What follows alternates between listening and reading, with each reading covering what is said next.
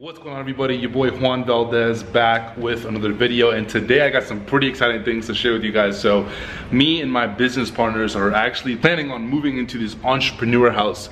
Uh,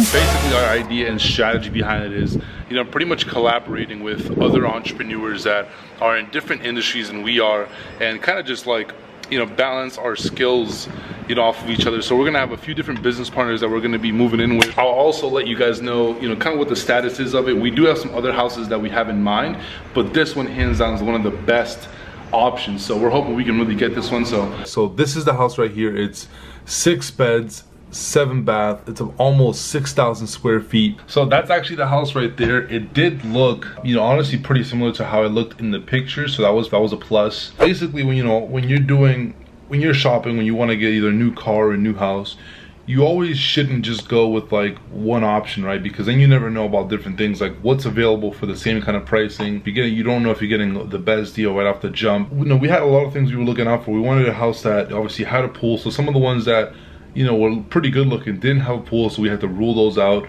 We wanted ones that had more than four bedrooms because there's gonna be a few of us living in the house. So some of them, you know, they only had four bedrooms. We were looking for like four and above. So for the price point that we were looking for, like it didn't make too much sense. So basically you definitely want to have options when it comes down to, you know, getting anything brand new. So right now we're actually in the middle of negotiating for the first house. Obviously it's like a crazy house. Like we're honestly super pumped for it. But of course, you know, it's important to know about sales and marketing and persuasion, and all those things for multiple re different reasons. Of course, when it comes time to negotiate for like things like this, like when you're, you know, getting into a house, you're getting into a car, whatever the case may be, it's important to know you know sales and persuasion. That way you can get the best possible deals you know for the place. But we both went in there with that with the strategy of you know not seeming too excited about the place. Just like looking at it and being like all right looking at some things and saying oh like can we can we fix this? Can this be done? And things like that. And giving constructive criticism about the house and things that we would like to be changed. And the reason why we did that is because what happens is if you go into pretty much buy anything and you seem overly excited for whatever the case may be then they're not going to have a problem with charging you with the price that they have set or even charging you more and not trying to negotiate. And the reason they do that is because they know that you want it. Usually nobody that lists a price on whatever it is that they're selling is like their final price. There's always, always, always room for negotiation. Always remember that. There's always room for negotiation. Nobody ever lists their final price. We knew that off the jump, so that was our strategy kind of going in there. I'm gonna be giving them a call, letting them know like, hey, uh, we are interested in the house, but we really wanted to see, we have a few other houses that we're working with as well. And they're about the same, they're actually in a much better location. They're in Los Angeles here, a lot close to where we are and we're basically trying to get it down to you know reduce the rent. And we have a few other options. They've already brought down the rent for us and they'd agreed to us to you know bring down the rent for this much.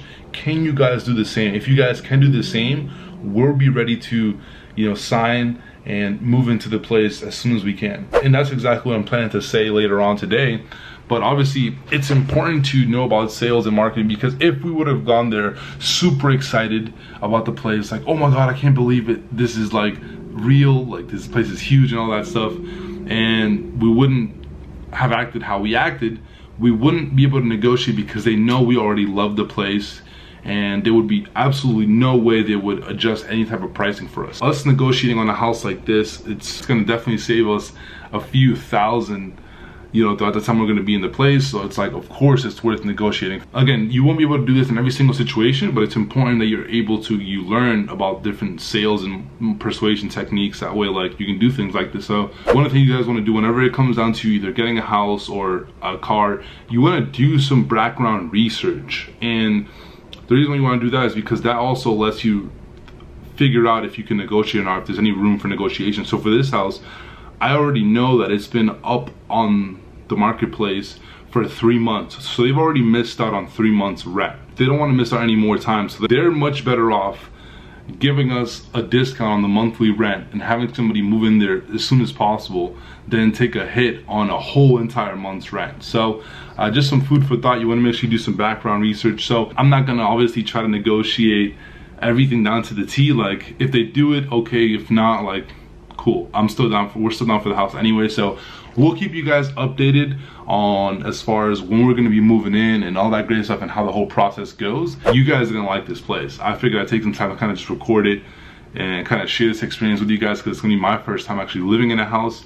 Of course, you guys know that me, I grew up, you know, with a really, you know, with a single mom. I didn't grow up with like a, a rich up and coming family or anything like that. So for me being able to move into a house, obviously it's like super crazy. So I figured I why not take the time to kind of share with you guys. So if you guys would want to see more videos, of different life experiences that I'm going through, different decisions that I'm making, things like that. Make sure you drop a like on this video. Of course, if you have any questions about sales or pretty much anything I went over, make sure you drop it in the comments below. And of course, if you haven't already, make sure you join the V fam, smash that subscribe button, and I'll see you guys in the next video. Peace.